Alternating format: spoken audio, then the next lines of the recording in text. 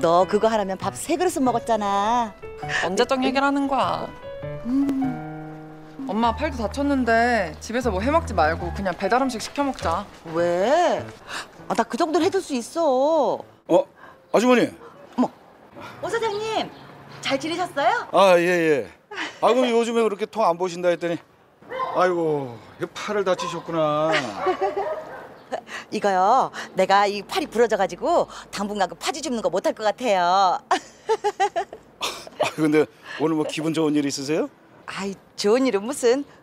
아무튼 내가 이 팔 나으면 고물상에 한번 들릴게요. 아, 예, 예. 다음에 봐요. 가자.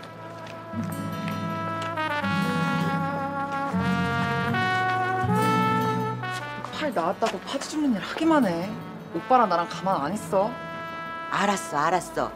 그냥 말만 그런 거야.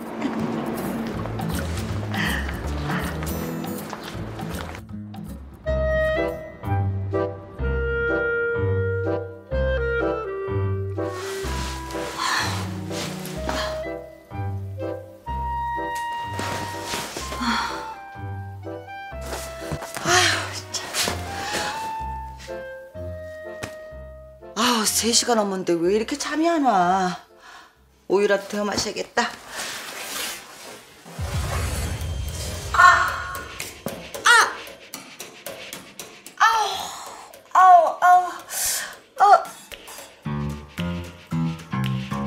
어? 안 아프네? 다 났나? 어? 진짜 안 아프네? 기분수 풀어도 되겠네. 아. 안 돼. 어, 나 이렇게 빨리 나면 안 되는데.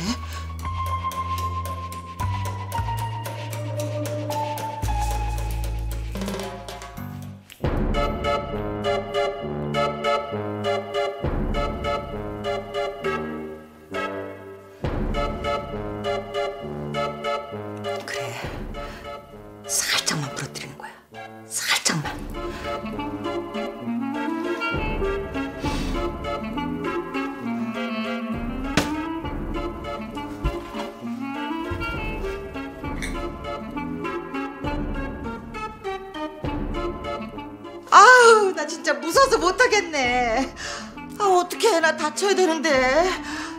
아, 아, 어떡해.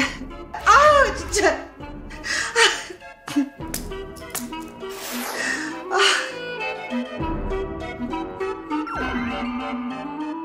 오늘의 일당백 드라마 주인공 미자 씨의 이야기인데요. 다쳐야 사는 여자라뇨? 이게 무슨 뜻인지 감이 와요? 9시 저녁 뉴스에 나오시는 분들이 다쳐야 사는 분들이 많잖아. 이제 자해 공부하고. 근데 우리 건강 프로에서 다쳐야 산다고 하니까 도통 감이 없네요, 지금.